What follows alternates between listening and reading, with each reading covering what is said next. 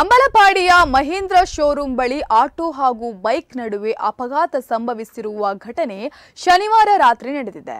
Auto ಚಾಲಕ ಹಾಗೂ ಬೈಕಿನ ಸವಾರ ಸಹ ಸವಾರ ಗಾಯಾಳುಗಳಾಗಿದ್ದಾರೆ.